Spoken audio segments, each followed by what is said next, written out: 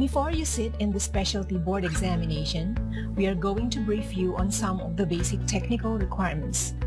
So if you're ready, stay tuned and join us in this video. Sitting for the board examination requires a valid email address. So first, you must have your own valid email address. This is important in order for you to receive the candidate number as well as your passcode to the exam. A free at yahoo.com email address would do. Second, you must have a stable and reliable internet connection, at least 10 Mbps. Your own prerogative whether you want to do the exam at home or go to a secure location where there is a reliable internet source. For safety and online security, public places with public internet connections are discouraged. If you are using your cell phone's data connection for the exam, be sure to check if your SIM card is still a 3G SIM card or if it has already been upgraded to 4G LTE. If you do not wish to upgrade your SIM card for whatever reasons, we suggest that you buy a 4G or 5G LTE enabled SIM card for this, for increased bandwidth and better performance. Fourth, you must have your own reliable laptop with working power source, full battery, and preferably with power cable plugged in to a power source. Working camera, microphone, built-in speaker, and a working mouse. It can be Windows-based, Mac, or Linux.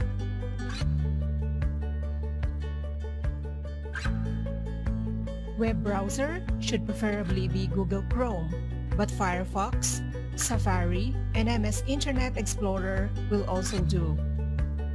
Fifth, you must have reliable mobile phone with working power source, fully charged battery, and preferably with charger plugged in to a power source, working camera, and microphone. The phone must have its own stand or can be propped up. The Zoom app must be installed and registered already. And the last one, you can have your backup internet source. Example, you can have your pocket Wi-Fi or USB dongle, preferably different from the main internet source. Backup power supply, such as power banks, is optional.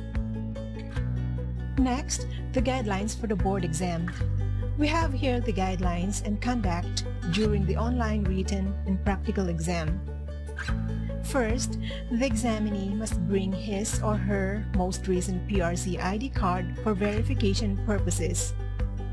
Examinee must be alone in a well-lighted room with adequate ventilation and working electrical outlet for laptop and mobile phone charger. The door should be closed but unlocked in cases of emergency. The contact number of a person outside the examination room but within the vicinity of the online venue must be provided in cases of emergency. Examinee must have a clean table or desk to work on. Only the following are allowed on the table. Laptop, mouse, mobile phone, backup Wi-Fi source, food and drinks. A clean piece of paper and a pen or pencil is allowed for notes. No unnecessary clutter. For food, only snacks are allowed like sandwiches, crackers, cookies, and small pastries. Water, juice, soft drinks, coffee, and tea are allowed. Definitely no alcoholic beverages. Food and drinks may be consumed during the allotted exam time. Examinee's face should be clearly visible and recognizable at all times during the exam. No unnecessary facial movements or expressions that would make us think you are talking to somebody. No headphones, earphones, Bluetooth speakers, or music.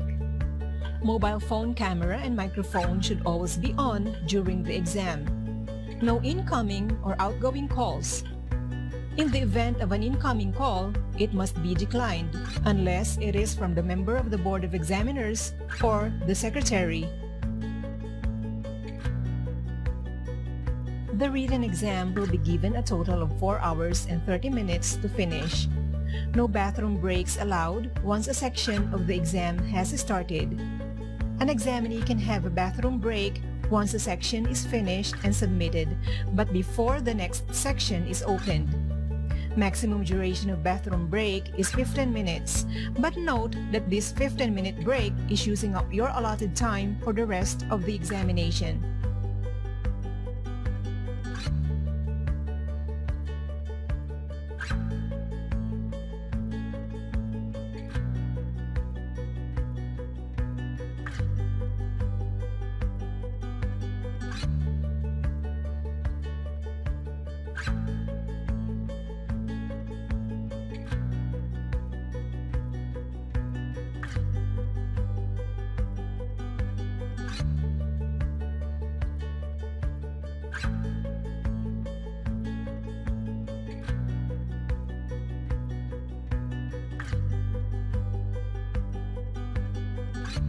For the online oral exam, here are the guidelines.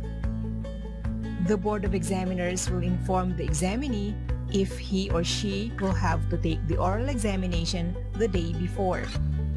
A link or invite will be sent to the examinee for his or her scheduled oral exams. The examinee only needs a laptop for the oral exam. So there you go. If you have further questions, you may click on the link provided or you may contact the secretary.